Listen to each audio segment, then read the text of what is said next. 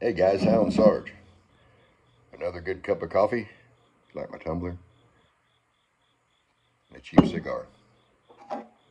Hey, look, Joe Biden is talking about the COVID pandemic is over. It's over. It's done. Well, I'll be honest with you, Joe. Just between you and me, it's been over for me for a while. But it's funny to me that you say the pandemic's over, and I find out today that my father, who just turned 80, just tested positive for COVID. Hey, life goes on. And I know you're just trying to get some wins for this upcoming election. This is really the only thing you could claim a victory over is COVID. Right. But then you got people like Rand Paul from Kentucky just absolutely blasting Dr. Fauci.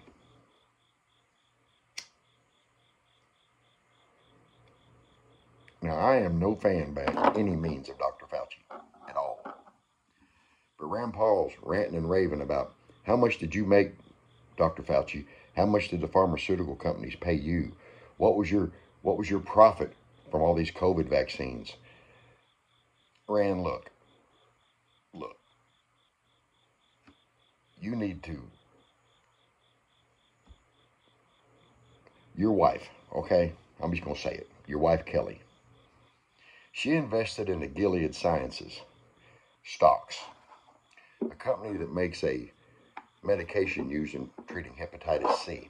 Now, this particular medication, which I'm not even going to try to announce, was given to Donald Trump as part of his treatment when he had COVID, and it proved to be effective.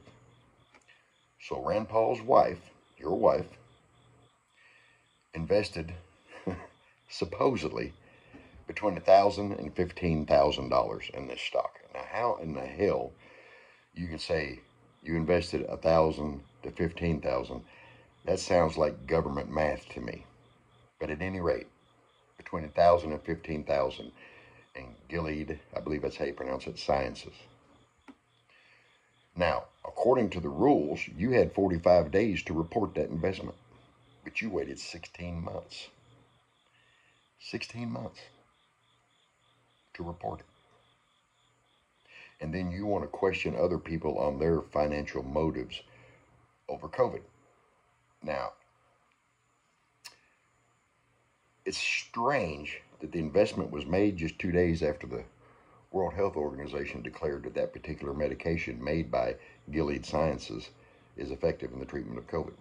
Now, also, you claim that your wife lost money. So, here you are jumping all over Fauci, which I have no problem with at all. But you were trying to profiteer at the same time. Are you really mad at Fauci over making money off COVID, or are you butthurt? There's a little bit of sour grapes because, according to what they're saying, your wife lost money. Lost money. Not that you didn't try to profit, you did try to profit from COVID, but you lost money. Or that's what you're saying. You see, that's part of the problem right now with our government. Our government is giving away billions and trillions of dollars with no accountability. Seriously, there's still hundreds of millions of COVID relief funds running around out there. What happened to them? What are they being used for? Why are they being held? There's hundreds of millions of COVID relief money for schools that they've restricted to where the schools are very, very limited on what they can use them for. So they're just sitting. They're sitting hoping that time will pass and that money can be pulled from for other pet projects. That's our government. Rand Paul is raising hell because Dr. Fauci financed Wuhan lab. Again, I don't like Fauci. But if you break it down, they financed the NIH, Congress, the Senate, our government, and then the NIH funded Wuhan. So in essence, our government funded Wuhan. Why do I say that? Because they should be accounting for every dollar. If they give the NIH a billion dollars, the NIH should be delivering receipts for that billion dollars. That's how you run a business. You couldn't run a business that way. And you damn sure can't run a company or a country that way. It, it's not good business. All the money spent at Katrina. Have you been to Louisiana? There's still parts down there that are destroyed. The funds that went to Katrina, wink, wink. The funds that went to Iraq, Afghanistan, Ukraine, all these aid packages should require receipts.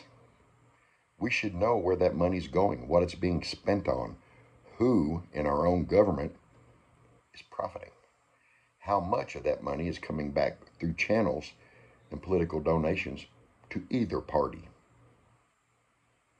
We should know that. We should know that. It's our money. It's our business. We're shareholders. We should get a report on the financial status of our business, of our corporation known as America. We are the investors.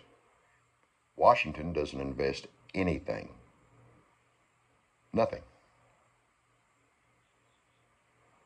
So we need an independent audit of these programs. Every aid package given out should provide receipts back to we the people, showing us exactly where that money is spent, how many offshore accounts that money ends up at, how many mansions are bought with that money.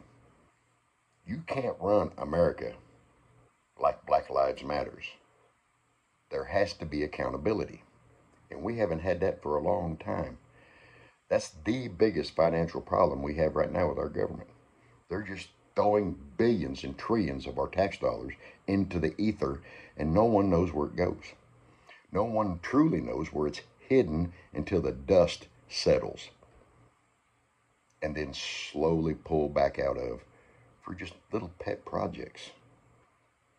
Little pet projects. You know, let's say there's a congressman or senator in eastern Kentucky who needs boats. Miraculously, there ends up being a new prison built in his district. Just where did those funds come from? I don't know. Nobody knows, honestly. There needs to be accountability of all of our money. There needs to be an audit, not a governmental agency auditing them.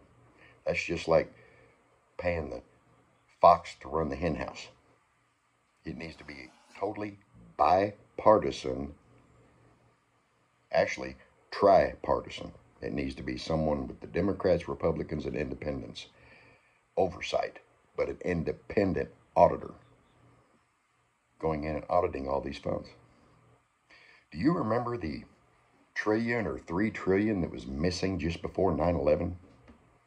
You probably don't. Most people don't remember it. But it just so happens that one of the planes that struck struck the Pentagon in the offices that were auditing that money, looking for that money.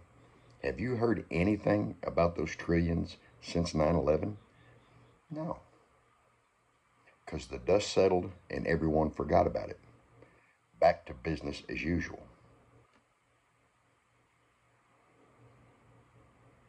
We can't run our business like that, guys we need to have accountability.